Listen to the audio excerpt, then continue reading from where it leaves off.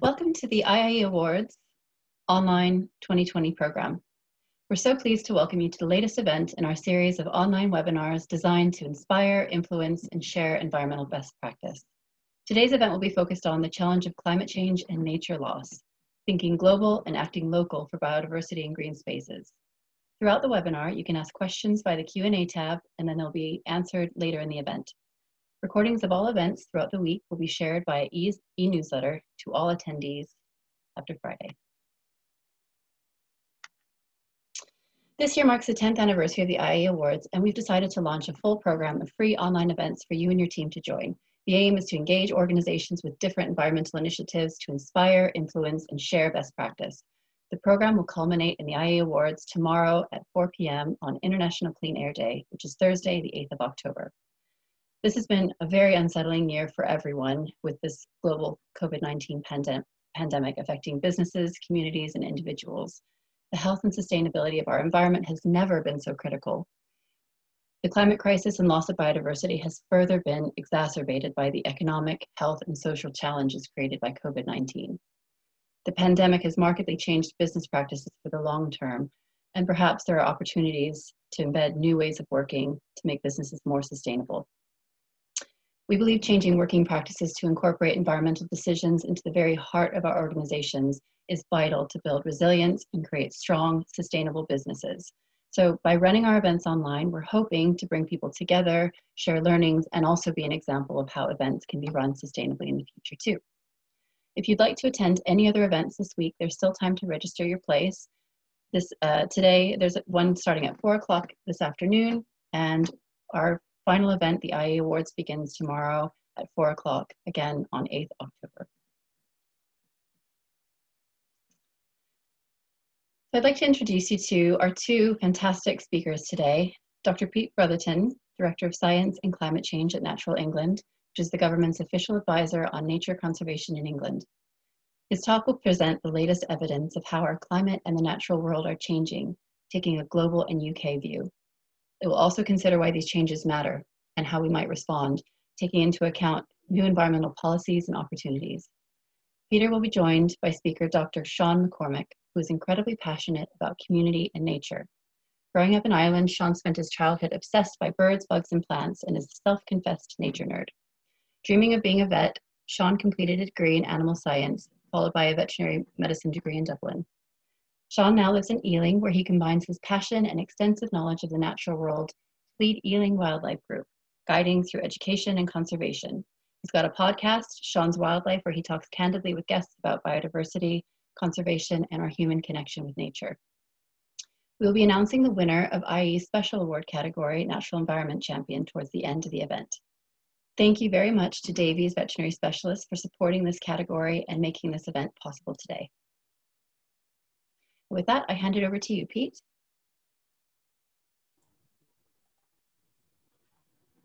Good morning. Can I, can I just check that you can hear me?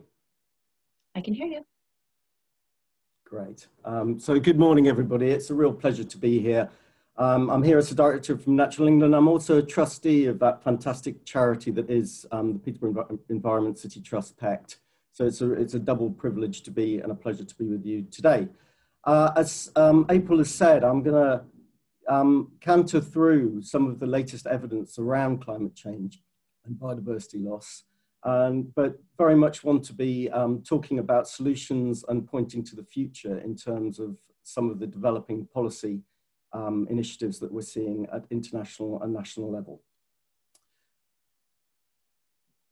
So 2020, um, this time last year, we were talking about 2020 as a super year for the environment. Many of us hoped that this would be the year where leaders of the world would come together at two critical UN conferences under the Convention on Biological Diversity in um, in China. That would have been starting about now. And um, later in the year in, in Glasgow um, at COP26, the UN um, meeting on climate change. And we hoped that this would be the year that leaders would finally confront these two joined crises and come up with meaningful commitments to address um, what's really the, the, the biggest challenge facing humankind. Of course, 2020 has certainly been momentous, but for very different reasons. And both of those events are now postponed until next year. However, the evidence base that was, that was being gathered uh, to support those events has continued to be, um, to be gathered and, and analysed. And we've seen over the last um, several months some of that evidence appearing. So 10 years ago, um, in the province of Aichi in Japan, there was a, uh, sorry, I'm just trying to move this forward. Oh, sorry, I'm going to drop back now. Um, there, there, was uh, a, an important strategic plan agreed for the Convention on Biological Diversity uh, and 20 targets set um, to be met by 2020 to finally try to tackle the challenge of biodiversity loss.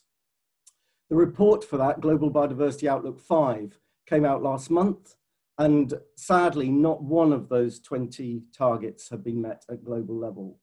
Each country had to report their own contribution, and the UK government's own assessment was that the UK missed 75% of those targets. Prominent amongst those misses was, was uh, the target to stop the decline of species.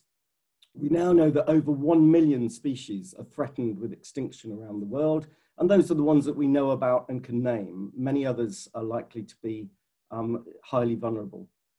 The WWF and the Zoological Society of London produce a Living Planet Index, uh, which looks at the change of abundance across a whole range of species.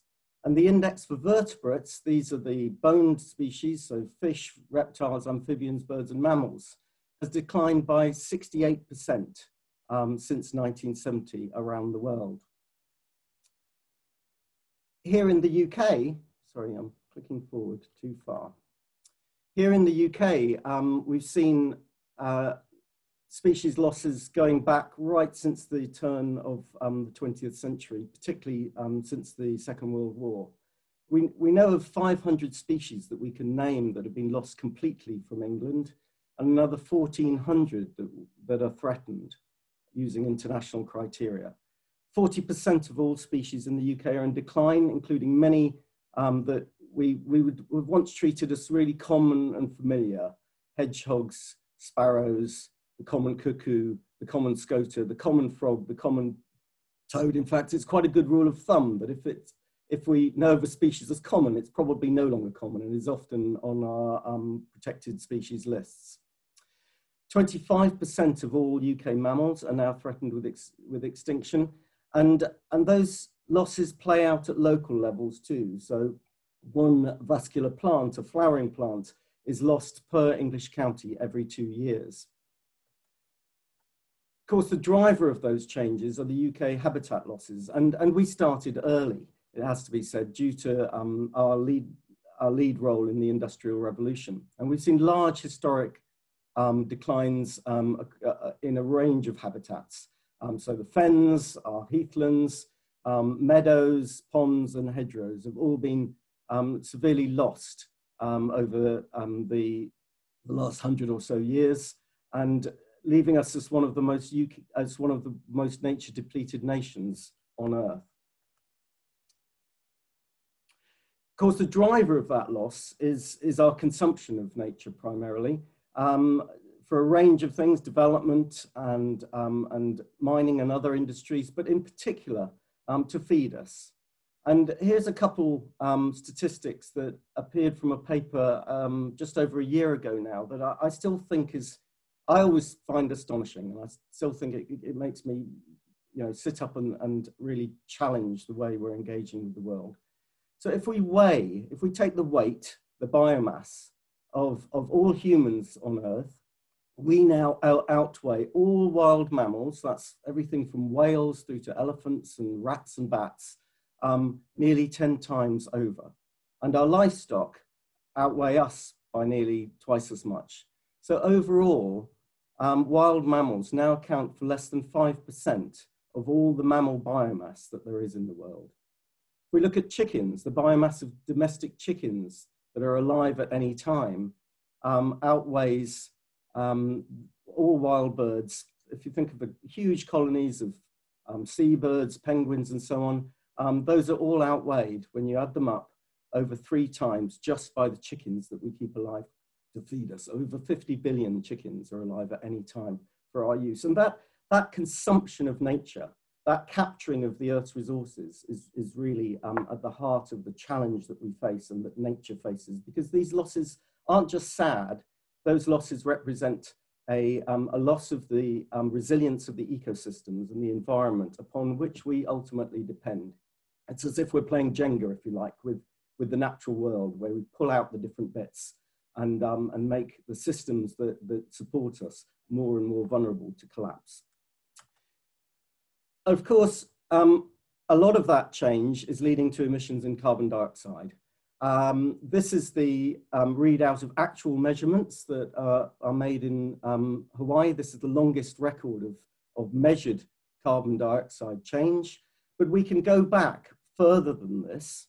Um, this is scary enough, but if we go back further, we can look at the isotopes of carbon um, in ice cores, which give us a, an accurate um, estimate of the, of the carbon dioxide concentrations um, um, when, the, um, when the ice was deposited um, in places like Antarctic. And that, those records allow us to look back 800,000 years in time. And oh, if, we, if we look to the left of the graph first, we see it fluctuates. There are fluctuations, often associated with, um, with ice ages in the past. But this line on the right here isn't the edge of the graph. This is where we are now. Humans have been around for this period, for about the last 300,000 years. So what we're living through now is something that um, humankind have, has never experienced. Those, um, that carbon is a very good warming gas, um, and, and is, is carbon dioxide is a very good warming gas, and that's leading to, um, to warming of the earth, as, um, as we all know on this call, don't we? And, um, and at the moment, we're about one degree um, possibly a bit over one degree from uh, above pre-industrial temperatures and well on track to three or four degrees. That one degree um, doesn't sound too bad, but I think, it, you know, you, you think, well, one degrees, why is that making such a difference to the Earth already? Well, it's partly because whenever we see these figures of, of one degree, we need to keep reminding ourselves that this is an average global figure. Most of the Earth is sea. So, um, and sea doesn't warm as much as land. So, um, so that one degree equates to very different experiences across different parts of the earth. And four degrees or three degrees will be, um, will make much of our land area completely impossible to live in. Um, we're already seeing um, significant changes. Here's some headlines just from this year, record temperatures in, in the Antarctic, record um, warmth uh, over winter in, in Europe. And we've all seen the, um, the heat in the Northern Hemisphere um, this, this summer with the Arctic burning um, and the permafrost beginning to thaw, terrible fires in California, um, um, awful fires, probably some of them man-made in, in the Amazon, but not just the Amazon rainforest now burning, also the Pantanal wetlands in the Amazon.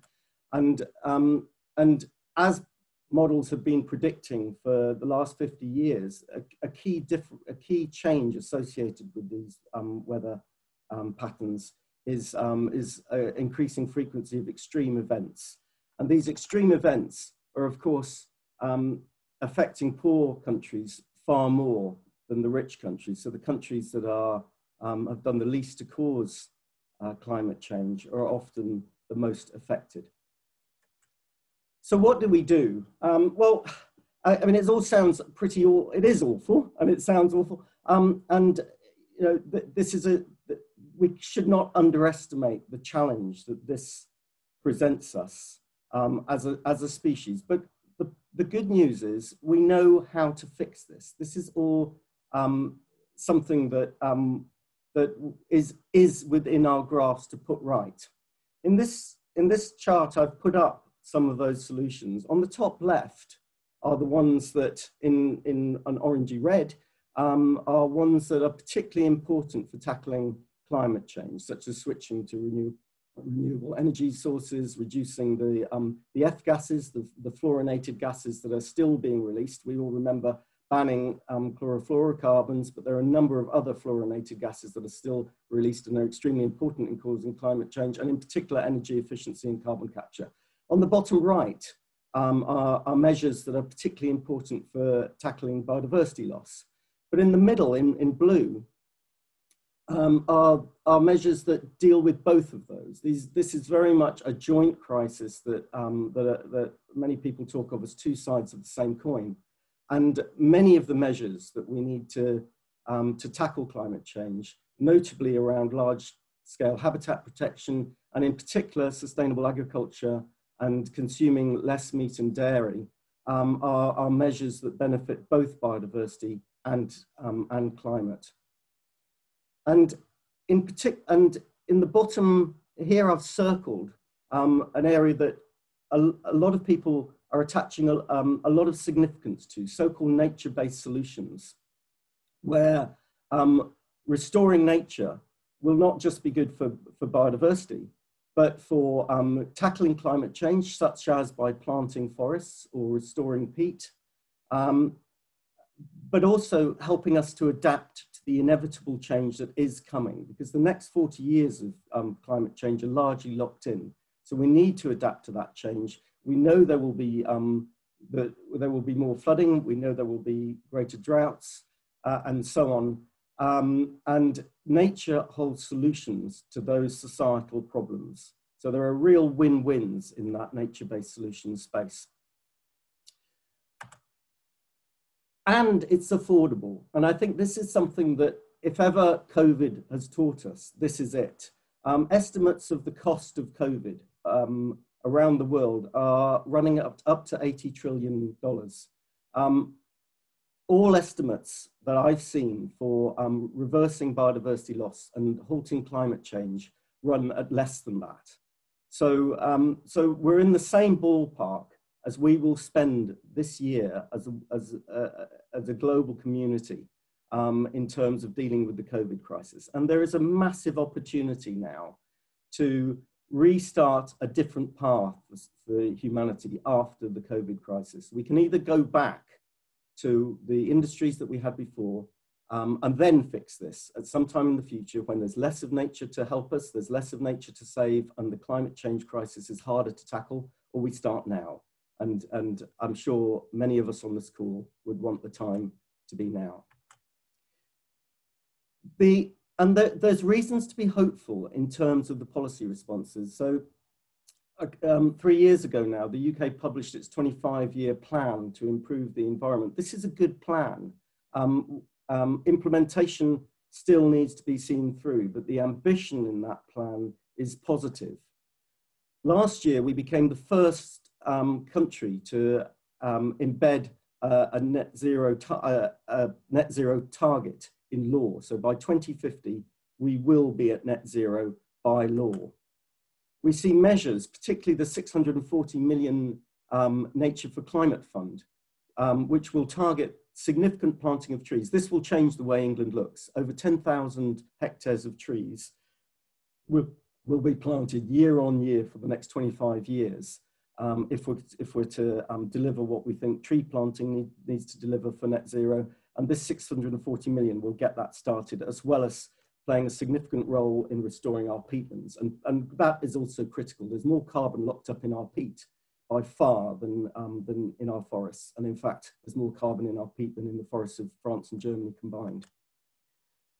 We're, we're hoping for a, a really effective Environment Act um, that should return to Parliament in the next month or so um, with binding environmental targets.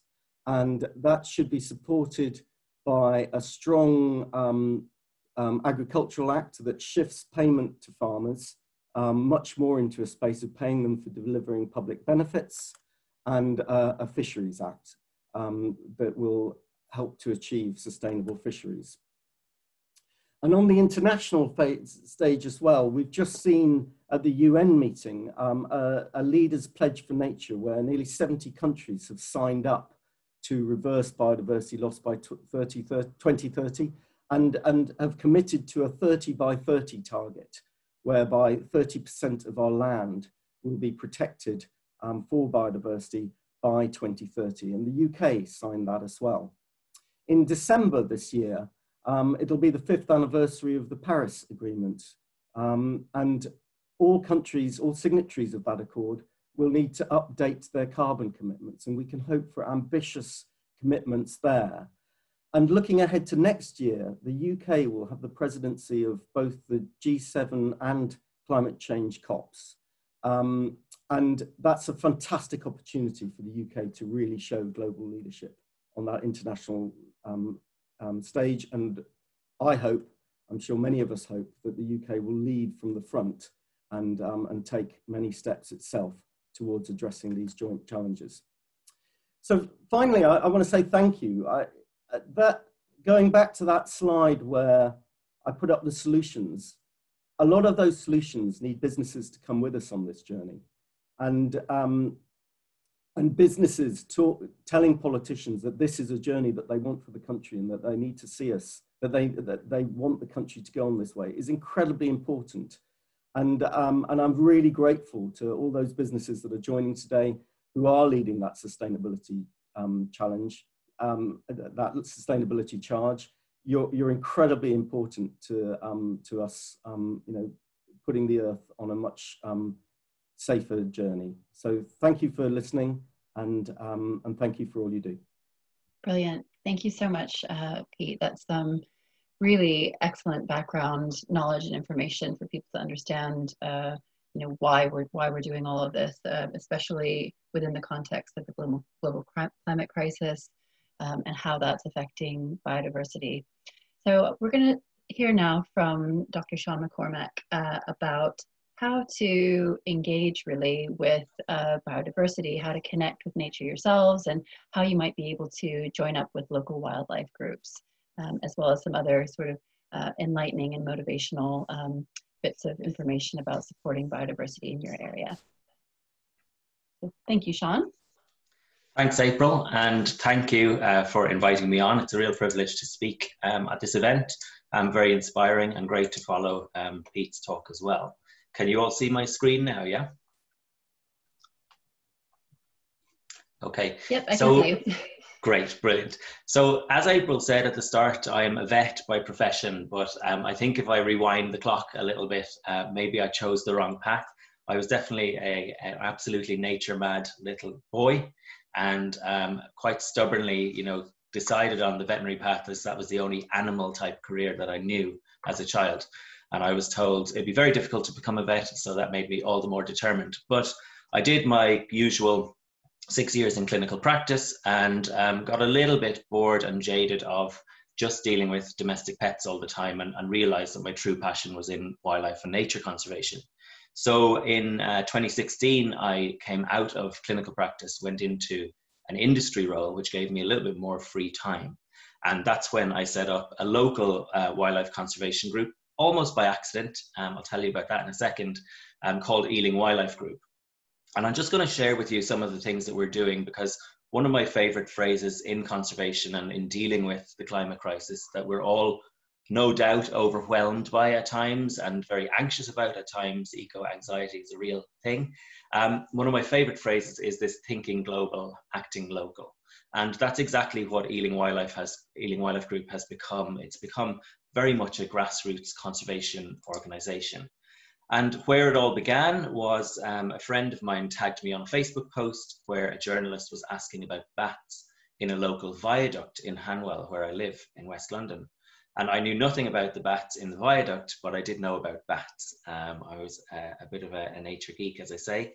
And um, to people's astonishment, um, my knowledge on bats was a little bit off the scale for normal people. And they asked, would I put on a bat walk or a talk um, and I decided, well, that would be a good idea to engage local people in nature. It would be very interesting to see if there are um, bats roosting in this viaduct. Um, so I put out a request on a local neighborhood Facebook group and said, if I bought, borrowed, or uh, begged for a bat detector off somebody, would people be interested in coming on a bat walk uh, this summer? And over 400 people in my local area said yes. So there was obviously an appetite for people to engage with nature and are green spaces and, and find out more about it. So that's where Ealing Wildlife Group was born. Um, we became a Facebook group just to organize some bat walks, and it grew into a very large community of people who are interested in our green spaces, getting outdoors, nature, learning about our local wildlife. And it's uh, exceeded all my expectations. We're now at over 3,400 members. Um, in normal times, non COVID times, bat walks remain a staple kind of activity of what we do right from spring up to around this time of year when bats are starting to uh, go into hibernation. And um, this is an example on, on screen of, of the type of groups we attract. We've had uh, our record was over 90 people on a bat walk. I felt like the Pied Piper of, of Ealing leading them through uh, the dark in, in our local parks. Um, but bats are a very good indicator species for the health of our ecosystems and our habitats. The more biodiver- the more diversity of bat species and the more number of bats you have in a habitat, the more you can say uh, that ha- that habitat is quite valuable and then protect it. So we've sort of used bats as an emblem of our group, and we um, also do lots of other activities. And we've moved from just being a Facebook discussion forum where people share their sightings of wildlife into being a practical, hands-on conservation group as well. So what I want to do first is just share with you a few examples of thinking global, acting local in your community and hopefully that might inspire um, some of you to start something or get involved with something similar in your area. Um, and then I want to give my five top tips for um, kind of being more sustainable as an individual and as an organization. Um, just some ideas. It's really a, a, very broad list, but might hopefully um, pique your interest or inspire you to do something uh, good in your area. So a few projects that we run, um, this is our annual project, which we're in the thick of at the moment. I was up very late last night um, kind of uh, proofing board, design boards for this. It's our annual wildlife photography exhibition. And we run a competition and ask people to submit their nature or wildlife photos um, from the borough of Ealing within the last five years, really to do a couple of things. One is to showcase our natural and wild spaces in Ealing, Zone 3 in London. We are very, very lucky to have an amazing network of parks and green spaces here. And it's absolutely incredible what kind of biodiversity has shown up um, through people sending in their sightings on Ealing Wildlife Group. But secondly, and I think this is more important for me, is that we're celebrating the relationships that people have with nature and what it does for them. And this year we've seen that play such an important role in people's lives and we're having a lot of feedback saying you know without my daily walks in nature my mental health would have suffered so much more. Um, you know people who can't get out maybe finding you know the postings on on this facebook group really inspiring and lifting their spirits in times where they can't access that nature themselves. So there is power in connecting with nature and that's what we're trying to do by um, by putting on this annual exhibition. And it's in beautiful setting of Walpole Park in um, in Ealing. It's about a five minute walk from Ealing Broadway Station. Um, amazingly, there are little owls breeding in this public park in, in Zone 3 in London. Um, so if you want to come on down, we're opening on October 16th. Little plug there for, uh, for our exhibition.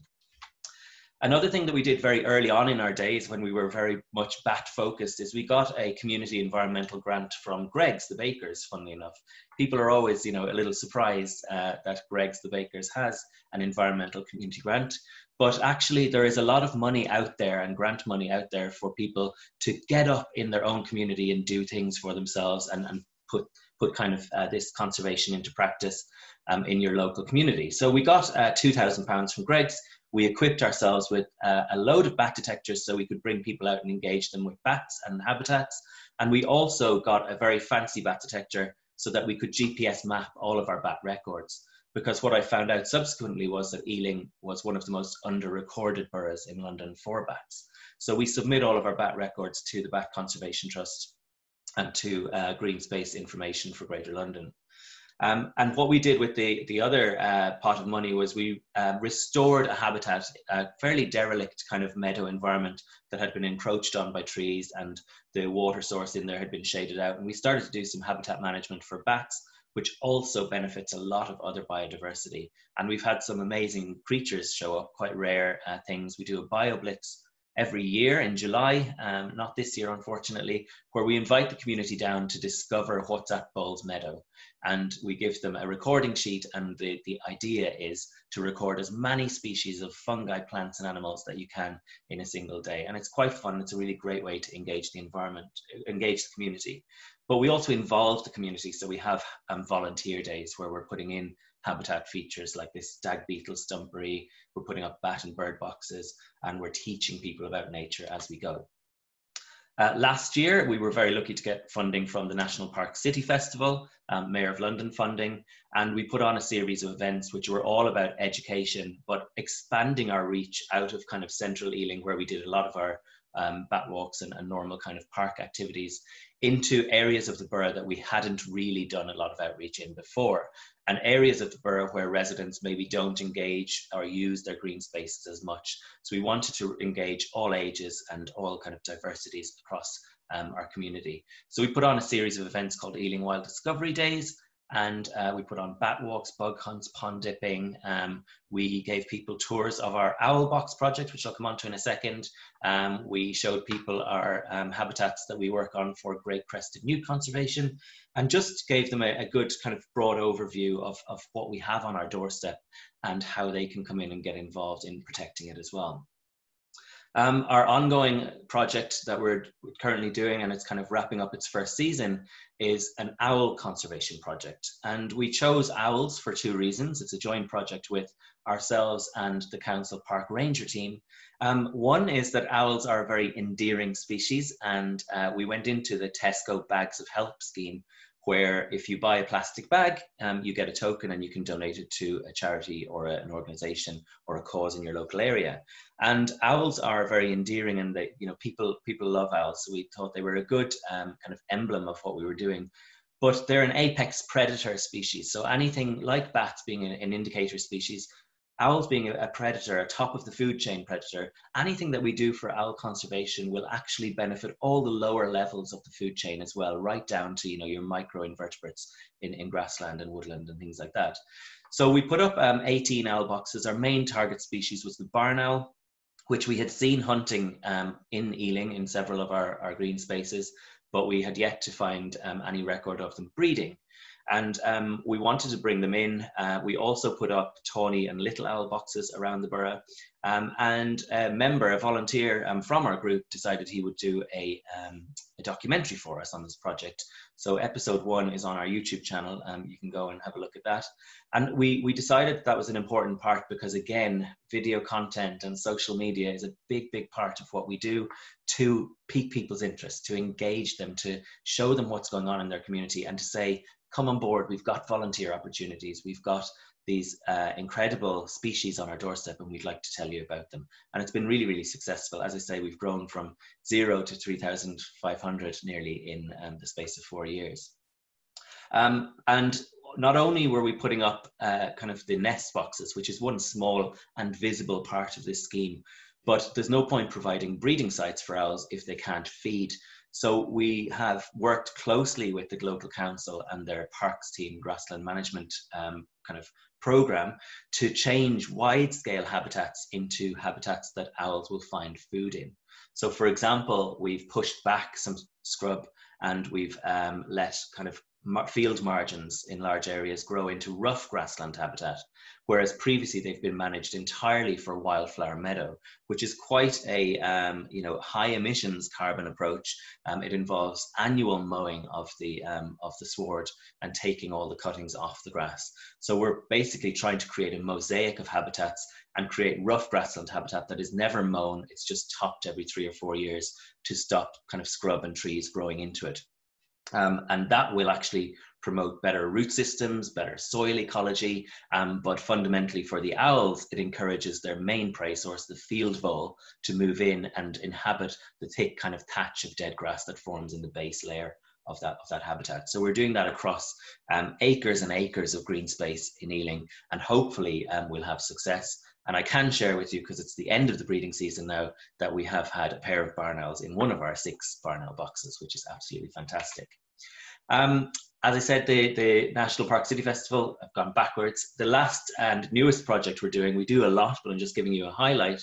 The newest project that we are working on at the moment and we've just reached our funding and started working on is um, transforming a derelict allotment space which flooded um, for, for much of the year, um, definitely all winter and into spring. Um, very unsuitable for growing vegetables, but we decided to be a fantastic resource to protect for wildlife. And we raised £20,000 through crowdfunding and match funding from Ealing Council and this initiative called Spacehive um, to basically transform this derelict allotment site. It's four and a half thousand square meters into a space for nature and protect it from development in future.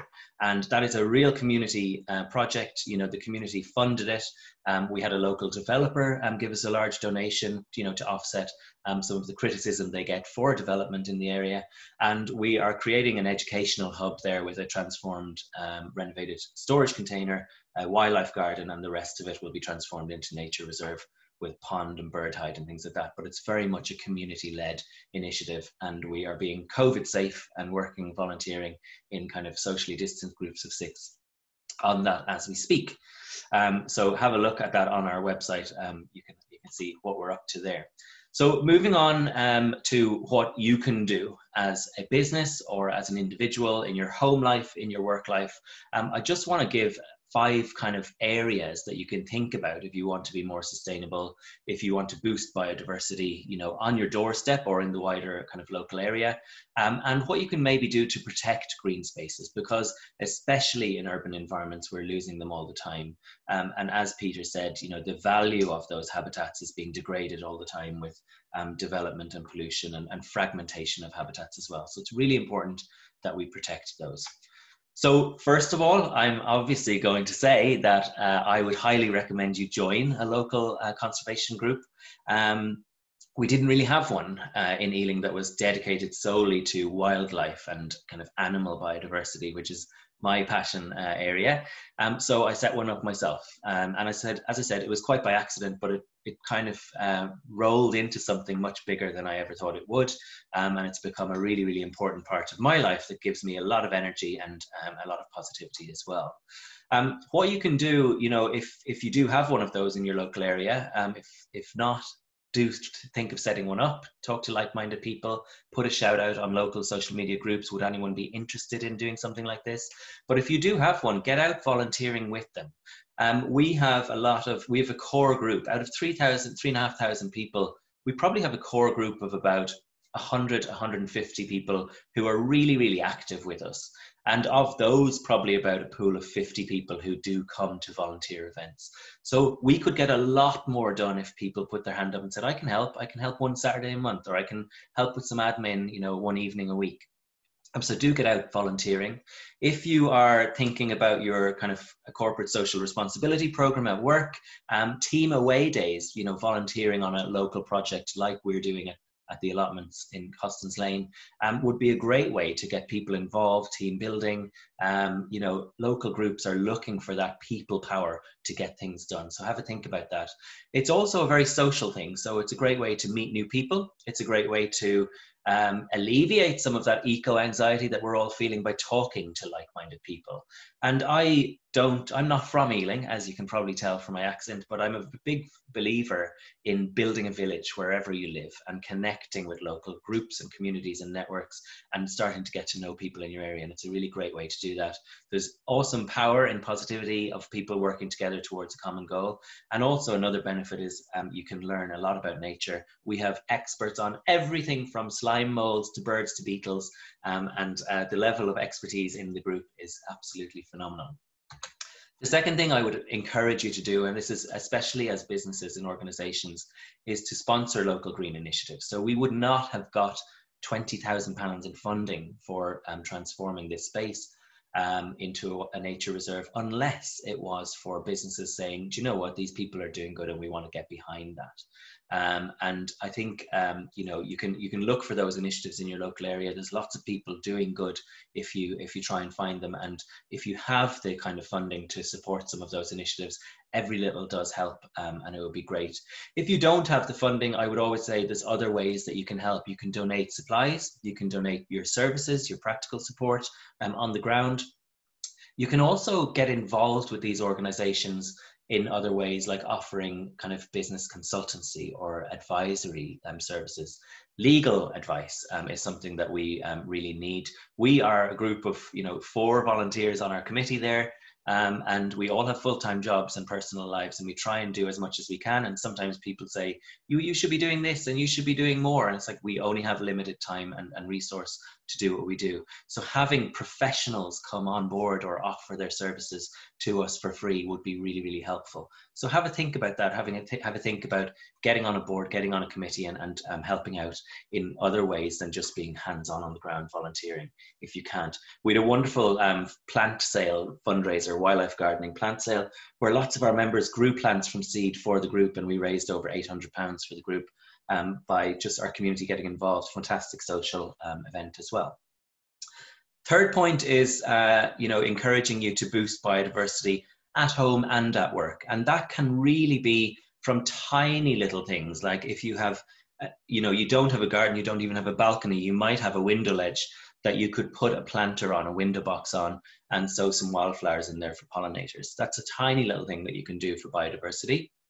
Um, it's also a talking point. You know, um, talking about li- these little interventions is really important, and sharing it. If you have window spaces at work, why don't why don't you nominate yourself to do something next spring for wildlife and window boxes, and get people at work talking about what everyone can do in their own little space. Um, starting simple often piques interest with people who maybe haven't had an interest before. Um, you can do something like, you know, a stick-on bird feeder on your window or a whole bird feeding station in your garden, or you can go large scale if you're a large organization and, um, you know, thinking about uh, new facilities or new buildings, putting in a green roof.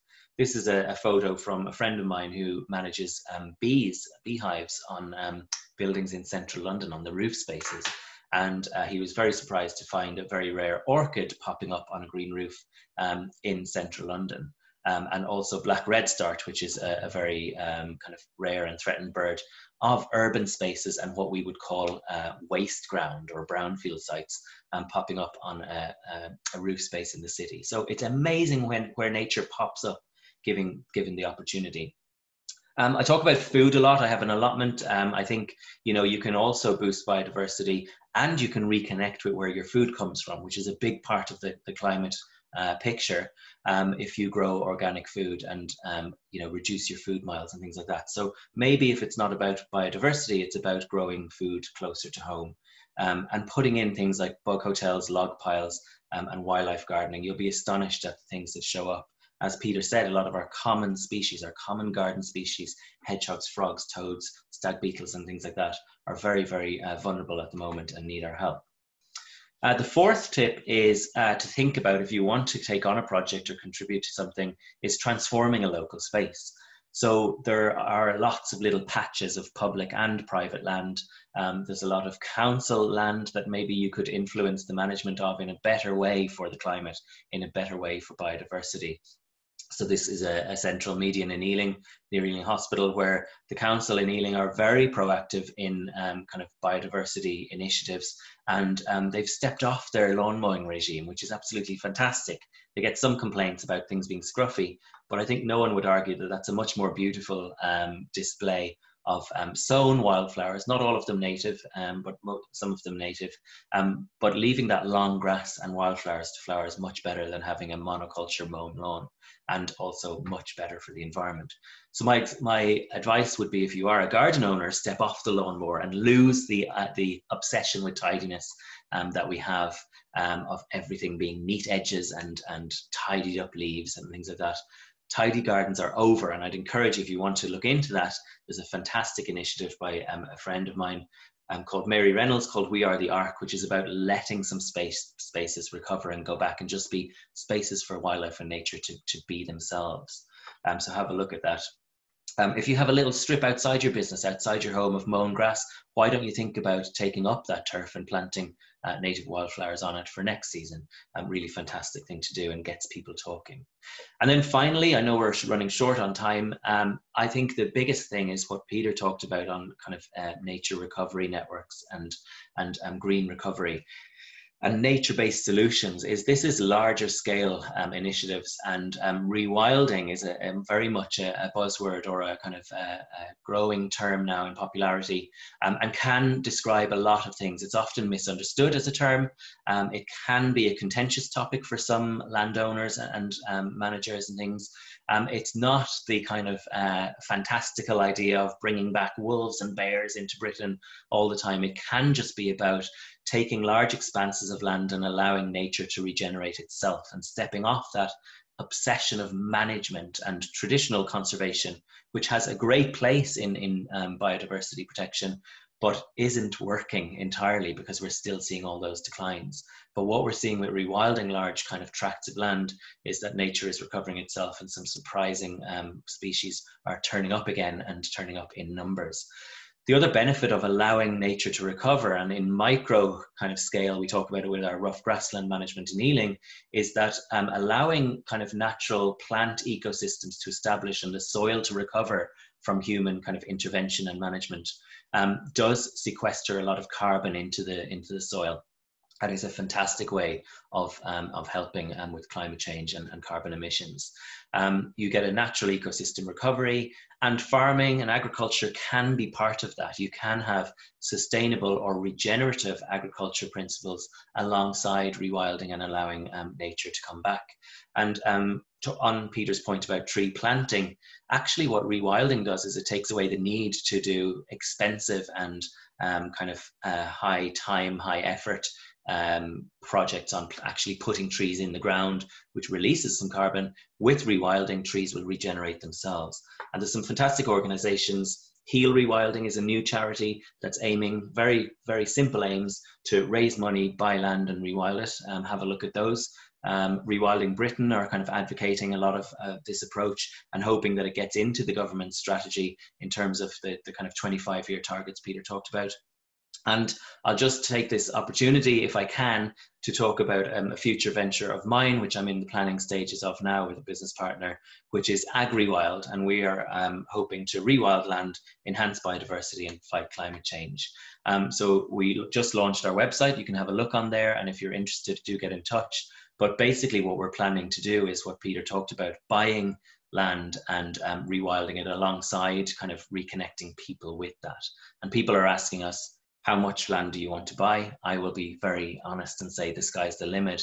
We are looking at fundraising opportunities at the moment for buying as large a tract or tracts of land um, as we can to try and um, kind of offset some of the, the issues that we're facing. So there's more information um, on our website um, and please, please do get in touch if you're interested in what we're doing, if you have any services to offer um, and you would like to kind of get involved. We need people's help. We can't do it alone um, and we're aiming high. So do have a look at that.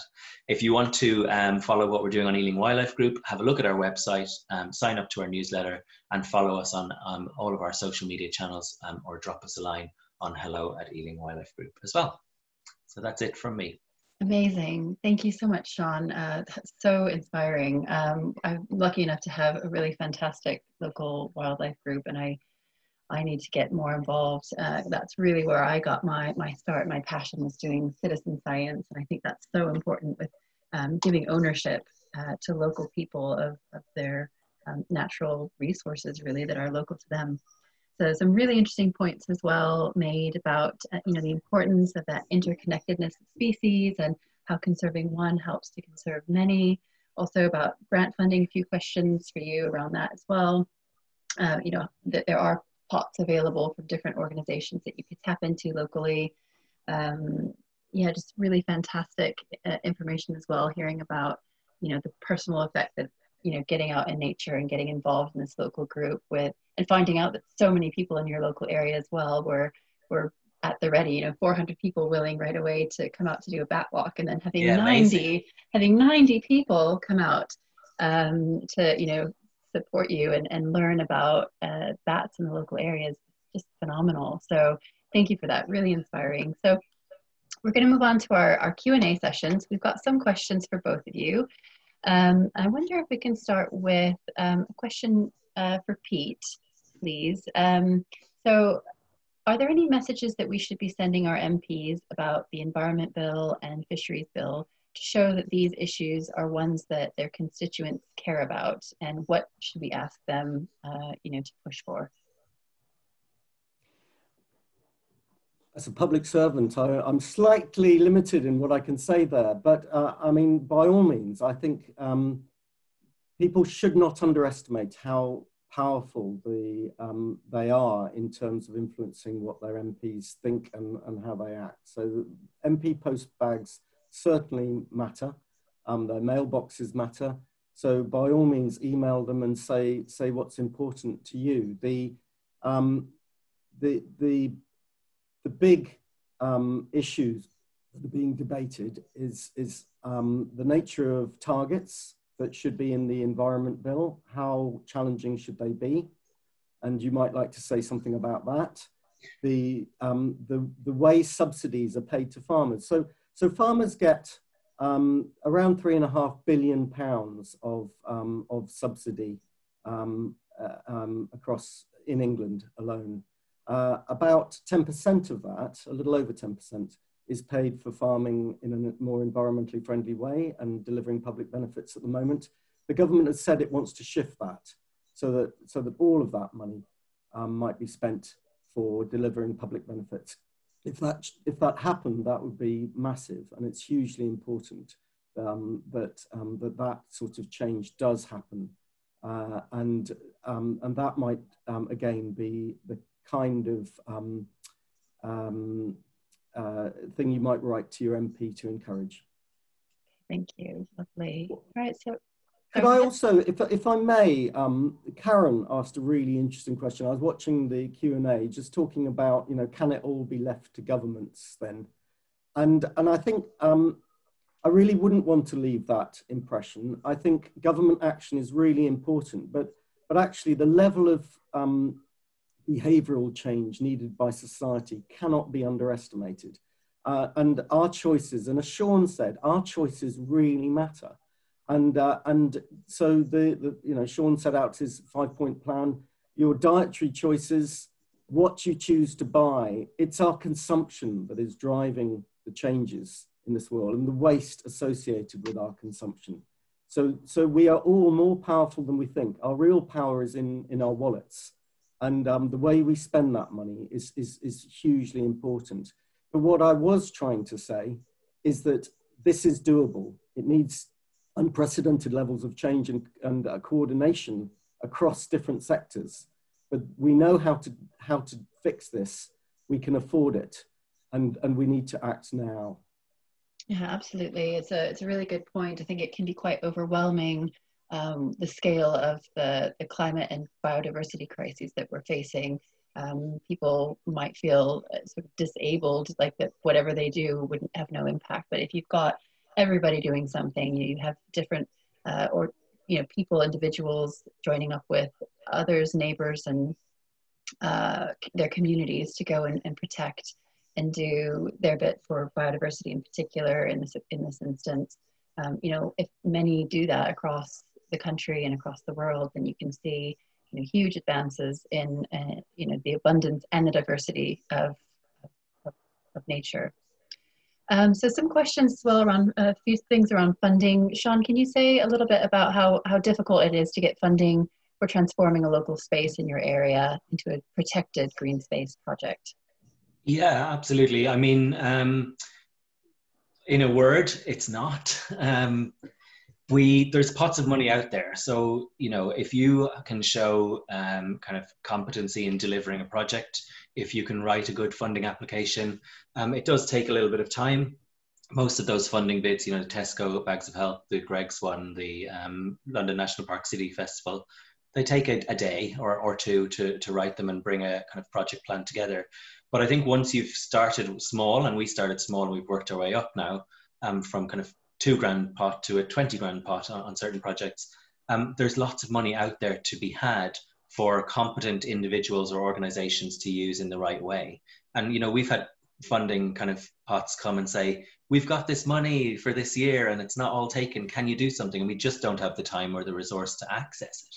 So I think it is out there. We're lucky um, in the borough where I live that Ealing Council is very pro kind of biodiversity and environment, and, and they're doing their best um, with their climate change strategy now um, to kind of be seen to be doing projects that support that. Um, so they match funded, you know, the 10 grand we crowdfunded ourselves. Um, so I think just look into your local council um, kind of website, and they should have um, resources on there for what's available. Um, but then just start fun- start googling um, environmental grants, environmental funding. You'd be surprised that there's a lot out there. Takes a little bit of time. Um, if you're not used to writing a, a, funding bid, maybe try and get some help from someone who will kind of um, give you some pointers. Um, but I would say that it's not difficult. There's money there for these initiatives. It's just about demonstrating that you have a good idea and that you can deliver the project. Yeah you know from experience that yeah definitely there there is stuff out there to to be taken advantage of really. Um, we're running really short on time. Um, i'm just going to really briefly um, ask the question to you probably sean. Um, what are the, any major barriers or challenges that your wildlife group has has found over time? Um, i think it's um, getting people involved I think we, you know, if I could run, if I could run Ealing Wildlife Group full time and have a living out of it, um, we could get a lot more done. But unfortunately, that's not the reality. Um, and I think actually getting competent, skilled, and knowledgeable people involved in various ways. You don't have to come down and clear brambles at our allotment nature reserve, but if you got behind um, a local organisation and really helped them in some other ways and offered your services and offered sponsorship and things, we could get a lot more done. So I think it's about people just getting involved and getting active. There's so many positive reasons to do it, and it will enhance your your life. And as I say, every little helps. It's about thinking global, acting local. Um, and I think if we had more people just get involved, that's the main challenge is, is um, trying to get stuff done on limited time, limited resources. Yeah, as it is with everything. So that's, that's uh, reassuring to know that there's a, a a variety of ways that people could support and also that businesses might look to support their local wildlife groups uh, specifically maybe even paying uh, for someone's time. Thank yeah. you both. We have other questions and we're going to do our best to answer these questions over the next couple of days and post some things on social media and our website to make sure that everybody um, can get their the answers that they're looking for. Right so um, now it's time uh, thank you for everyone as well for submitting those questions. Um, at, if you want to email us, you can email us at info at iie.uk.com after the event, um, and we can talk through anything else that you might want to discuss. Right, so now it is time for our IIE Natural Environment Champion Award. So as I mentioned before, this year we're making a decade, we're marking a decade of the IIE Awards. So in addition to our bronze, silver, and green accreditation, we are also awarding IIE member organizations for really going above and beyond in eight special categories. So today's event is uh, really recognizing an organization that has gone above and beyond, um, you know, supporting biodiversity and connecting people with nature under the Natural Environment Champion category. We were looking for action or projects that they've undertaken, for example, trees or wildflower meadows that they've planted, uh, or things that um, improve the natural environment around them and how they measured their impact. Um, the award will also recognize the business for how they've contributed to enhancing or protecting the natural environment, uh, including support for biodiversity, abundance and diversity, and conservation. And the winner of the Natural Environment Champion for 2020 is Manchester University NHS Trust. Uh, we're delighted to share that across seven hospitals, there's so much going on to help boost nature within urban spaces. Uh, MFT have transformed the space um, with low ecological value outside of the Royal Manchester Children's Hospital into a vibrant and welcoming green space. Bug hotels and planting schemes were designed with pollinators and biodiversity in mind, as well as providing accessible and varied seating areas so people could go out and engage with that natural environment.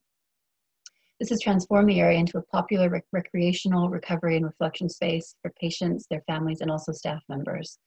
The site is also hosting, um, the site also hosts an urban beekeeping project, which is run by staff volunteers, which is really uh, noteworthy. And, and I believe they even sell the honey um, uh, to, to people in the community to raise funds for the project.